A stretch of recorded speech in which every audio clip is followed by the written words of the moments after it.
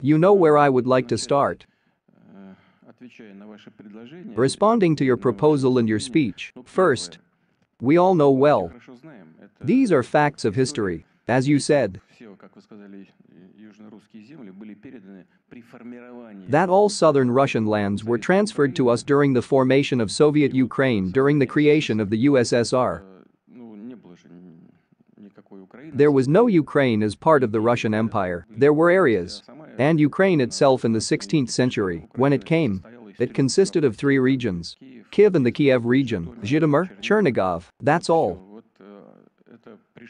It came voluntarily from the Polish-Lithuanian Commonwealth, from Poland.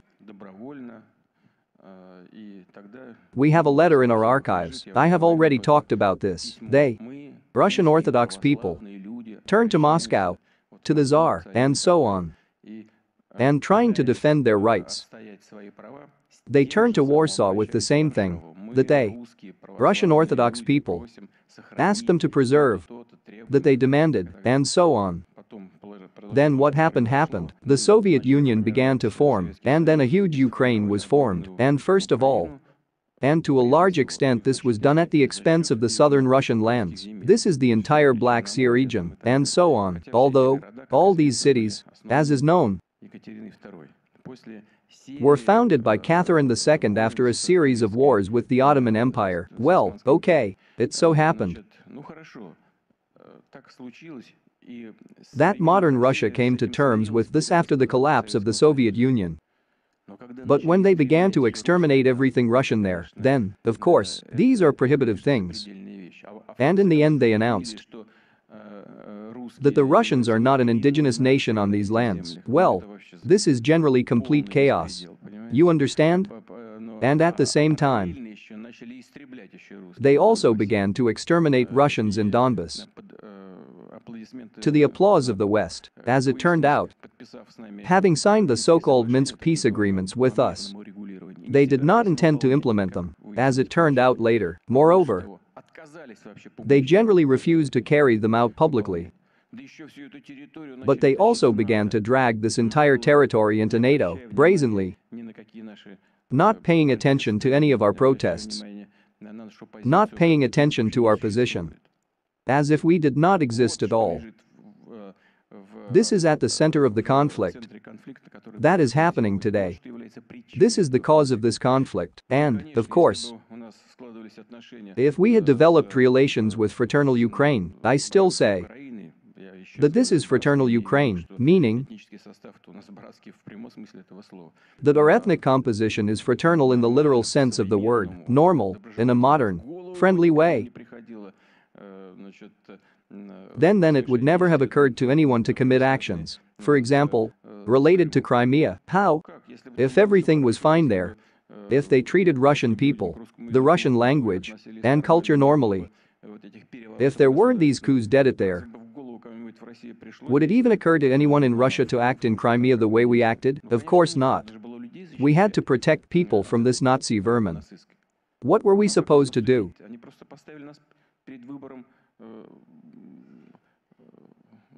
They simply presented us with a choice in which we could do nothing else but stand up for the people who live there. The same thing then began with Donbas and Novorossiya, but, of course, we need to do everything to ensure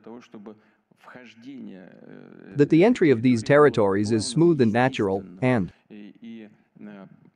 that people feel the results as quickly as possible, you know, we and Russia have many problems, we in Russia, but throughout the world, everyone is fighting corruption. But the way Ukraine lived within the framework of Ukrainian corruption, there is nothing like it in the world. I assure you, there is nothing like it in the world. You can believe me. I communicated closely with former leaders. A bet on everything. On a vote in the Supreme Court. On a vote in the Constitutional Court. Bid. Moreover, when we discussed what to do, they said, we will decide. It will cost a certain price. The top officials of the state told me this. My jaw just dropped. I asked them, is this how you do it? Yes. They do that. Now they say that weapons are coming from Ukraine to the Middle East. Of course it appears there. Because they sell it. And they sell it to the Taliban. And from there it goes anywhere else. Everything is bought and sold. It is not by chance that I say this. Because people in Novorossiya and Donbas lived in such conditions, everything there is imbued with this. We need to calmly implement our standards with respect for society, for the people who live there. Of course, I repeat, we ourselves have enough of these problems. But the level is just completely different. The level is completely different. There, this corruption is actually legalized. Why do Americans try to fight this corruption and fail? I don't think they will succeed. They are now planning a change of elites, both economic and political. Everything will be the same, but it shouldn't be like that for us. Yes, there are problems, but we must overcome them together and introduce them gradually, including Russian legal standards. Just as we gradually did in Crimea, it's not easy to do. It is also not easy to switch to the Russian regulatory framework, but we will gradually do this, and we are already doing this, you said. That outwardly some things are changing, yes, some things are changing. And we have a program for the development of these territories, and significant funds have been allocated.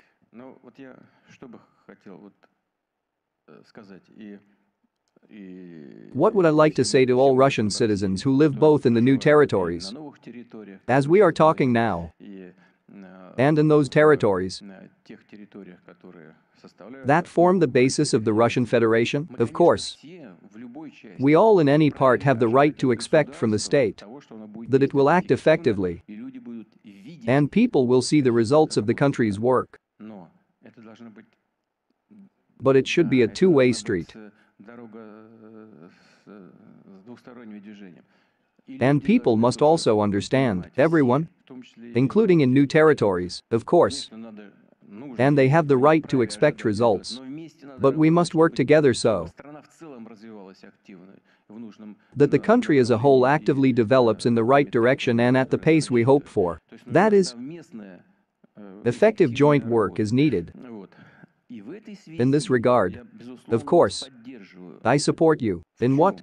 The fact is, that you said, that you say, in Zaporozhye, in the Kherson region, in Donetsk, intend to control the actions of the authorities. You definitely have to do this. You definitely have to fit into this work. You said that you are going to take some steps. I even ask you about this. Because control by public organizations is extremely important including because of what I said above. Because all the established schemes do not disappear from the fact that a referendum took place, well, you understand what I'm talking about. Therefore, we are sending funds and we will send them even more. The main thing, thank God, is that our economy functions rhythmically. Everything is working out. We are not changing any of our plans. We are not abandoning any of our plans, neither in the social sphere nor in terms of infrastructure development in other areas. This is support for industry, security, and so on. But there are additional resources for the development of these territories, they are large, of course. You need to control every step. I will definitely ask you to do this.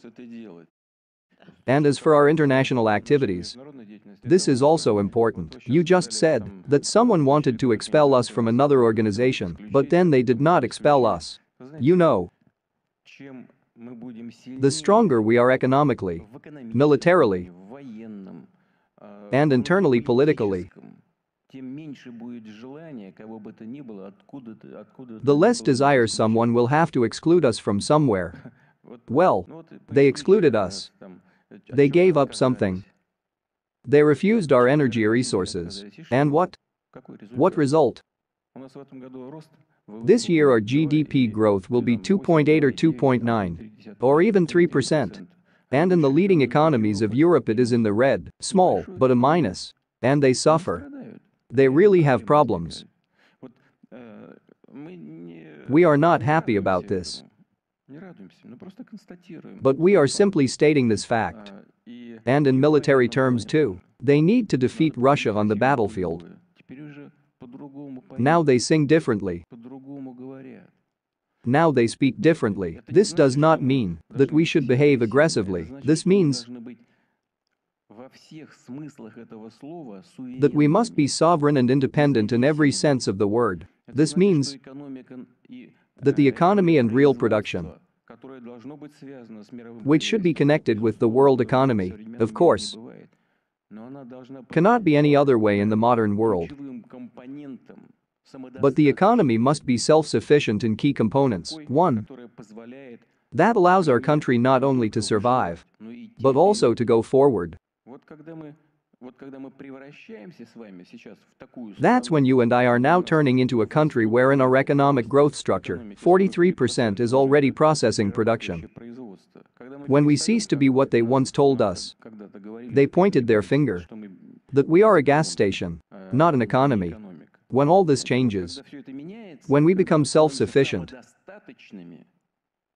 then there will be fewer people who want to exclude us from some organizations. And there will be more and more people who want to apologize and invite us to work together in a variety of areas of activity. Therefore, we need to focus on the domestic agenda. We need to solve the problems facing us, move forward, develop, strengthen demographics, and, of course, strengthen ourselves politically.